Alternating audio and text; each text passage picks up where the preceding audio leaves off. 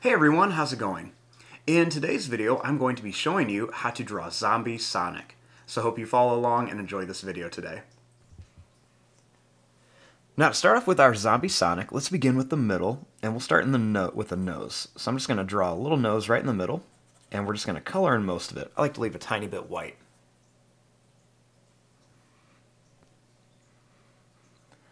Now, starting here, I'm going to draw a line that's going to go down, and then I'm going to curve it up and over. And then we'll do the same thing here, but this time I'm going to go a little bit higher, and then we're going to come down. I want them to be different sizes.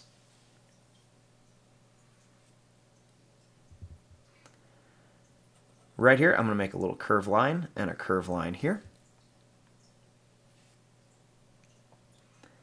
And then I'm going to make this line come out and down, and we'll make this line come out and down. Starting here, I'm going to curve this line down, and we'll do the same thing, just kind of bring it down and in. Right here, I'm going to make a little line that's going to go out and in. We'll do the same thing over here, just kind of go out and then in.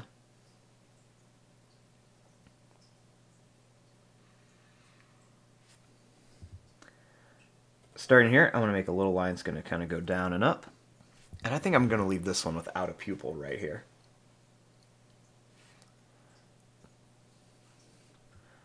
Starting here, I'm going to make a little line and another one here and then we'll make a little smiley face shape for Sonic's top, top of his mouth. Next, we're going to make a line that comes down.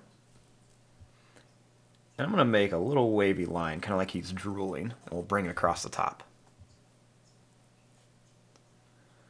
Next, we'll go ahead and bring this line up. And then we're just going to make some little teeth in here. We'll leave some space in between them. And we'll do the same thing down here, just a few little uh, teeth in there. Then we're going to make a line that's going to come down and up, and up to here. Right here, I'm going to go up and then down, and the same thing here. We're going to go up and then down a little bit.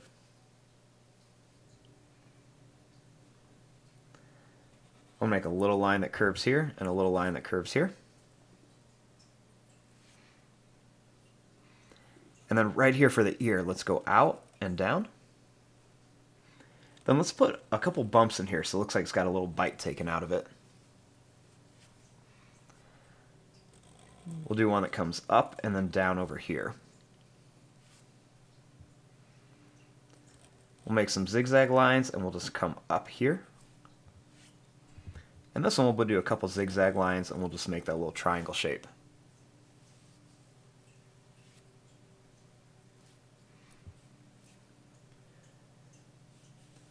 Now, starting up here, we're going to make a line that's going to come up and down. And I'm going to make some more of those bumpy lines in here. Then I'm going to make a line that's going to come out here. I'm going to put a couple little points on it, and I'm going to bring it back. Then in here, let's make a couple little bumpy lines so it looks like his brain is showing. We'll do that same thing, but I'm to make this one a little bit lower we're to make a couple little points and we're going to bring it back here. I'm to make another one right here that comes down. I'm going to bring it up and I'm going to make another like little bite taken out of it. And then I'll do another one here, a couple little points, and then we'll bring it over.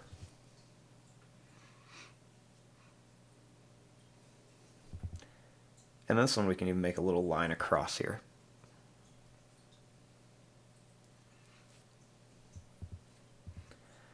Now, starting right here, we're going to make a line that comes down. I'm going to make a couple little bumps in here, and then I'm going to come down. And we'll do the same thing here. We're just going to curve down here. Now I'm going to make some skinny ovals in here, so it kind of looks like some of his ribs are showing. So we'll make some skinny ovals. And a couple little lines in there just to connect.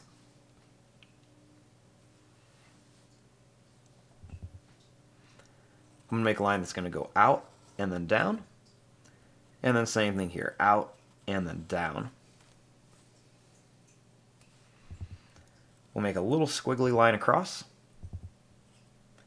And we're going to go up and then in. We're going to make a line that goes out and in, out and in, and then we'll do the same thing here and we'll connect it. I'm going to make it a little bumpy so it looks kind of like worn out.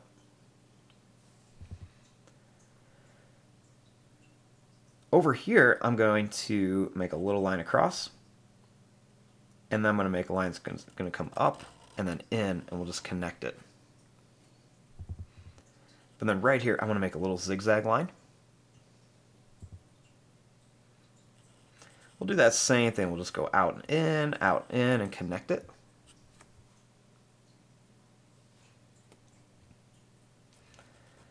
For this shoe, I'm going to come up and down, and then we're going to make some zigzag lines right here.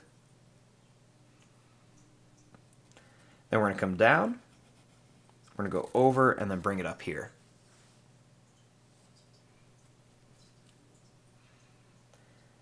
And then inside of here, I want to make some little lines that come down and back, down and back, down and back for like some little claws coming out of there. We'll make a line across and then two lines down for the shoe. Now this one, we're just going to go up and down for the shoe. We'll bring it across and up we'll make the line for the bottom and two lines down. This one will be a little bit more normal, but what I do want to do is maybe add some squiggle lines on here so it looks like it's kind of dirty and muddy.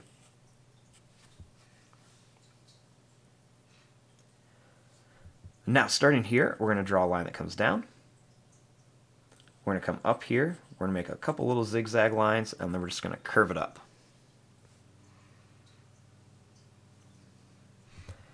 Now, let's make his arms here. So I'm going to make a line that's going to come down and then out here.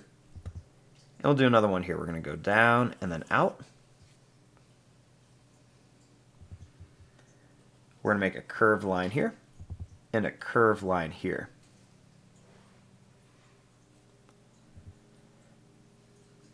I'm going to make a line that's going to go over and then up. And this one we're going to go over do a couple little bumps, then we're going to go up here. And this one I'm going to add a couple little zigzag lines. We'll do a couple more here. Now for the hands, I'm going to start by drawing a line that's going to go up and down. And we'll do the same thing here. We're just going to come up and down. We're going to curve this around and then in. So we bring this back up, and then we put a little curve like that. That'll be the thumb.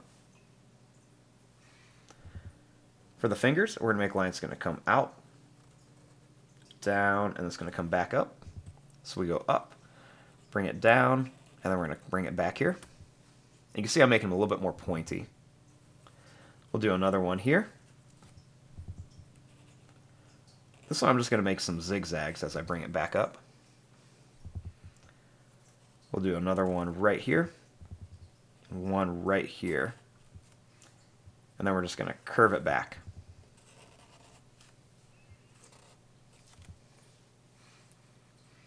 This one I'm just going to make a couple little lines coming out so it looks like it's got like a broken finger. And then we'll add some like little bumps and stuff onto here. Maybe some little zigzag shapes. And then I want to make a few more of his little spikes coming down. So I'm going to make another one that comes down here and up. I'm going to make one more, put a couple bumps in it. We're going to come down. And then we're going to bring it back up here. And then we can always add some extra details. So one of the things you can do is you can add some like little wiggly spots and put a couple little dots in here to make it look like there's some missing fur. So we can kind of add some of those around here. We can also make like some little lines that come down with some lines across for like some stitches and even some little hashtag marks on there. make things look pretty cool too. Just to kind of add a little bit of detail on there.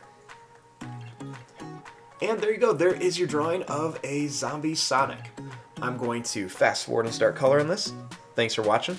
Hope you enjoyed.